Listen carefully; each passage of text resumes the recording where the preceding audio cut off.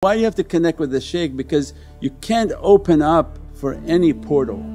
So if you sit and say, I'm just going to meditate and call upon something but then you're asking that now any type of creature can come before you because you don't see and immediately begin to manifest images for you. That can be a very dangerous portal because these people who say, I have a spirit guide, you said, you see? I said, no.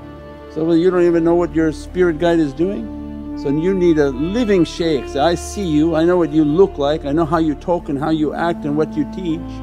And I'm gonna make a connection to see you.